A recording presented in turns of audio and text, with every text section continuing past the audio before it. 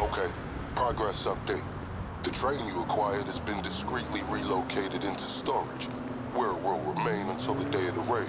Things are coming together. Next on the to-do list, acquiring weapons and gear, or the getaway vehicle, your choice.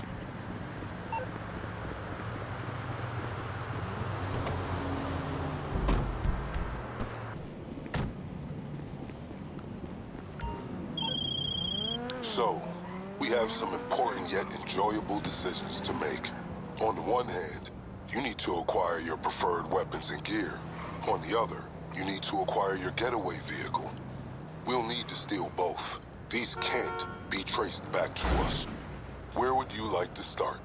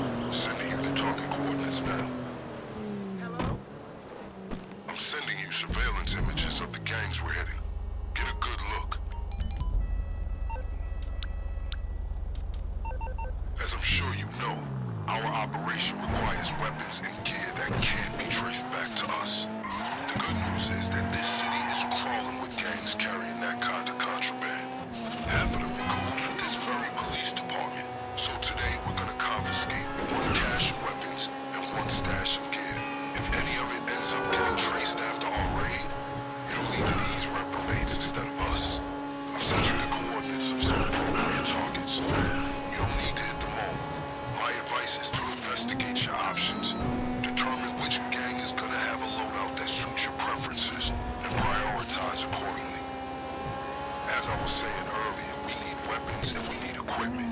That's armor and masks.